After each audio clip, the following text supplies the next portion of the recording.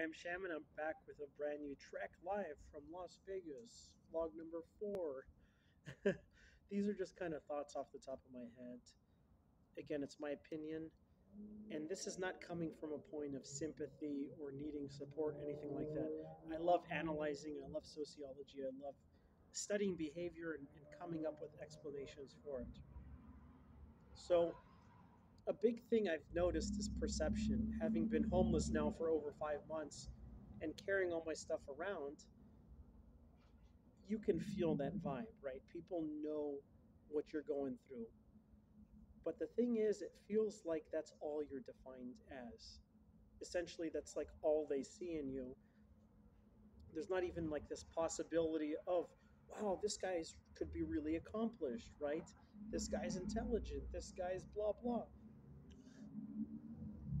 that's kind of a thing I want to tell people because our our judgments of other people can really affect them, right? And it doesn't even have to just be verbal.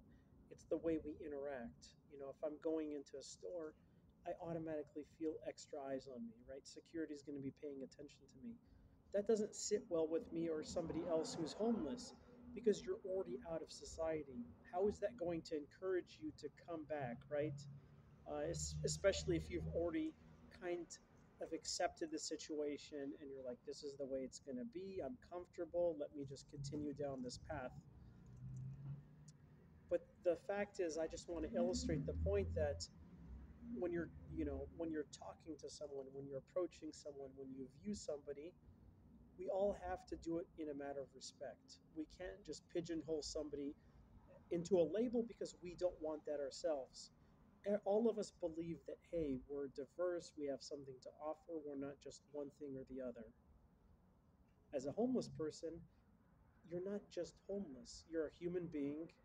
You've got different characteristics skills strengths things of that nature. And it just feels good when somebody can treat you like you're equal like you're part of the community and whatnot. And it's simple things as smiling as saying hi casual conversation as a, as opposed to just like this avoidance, right? Um, it's just really hard to describe.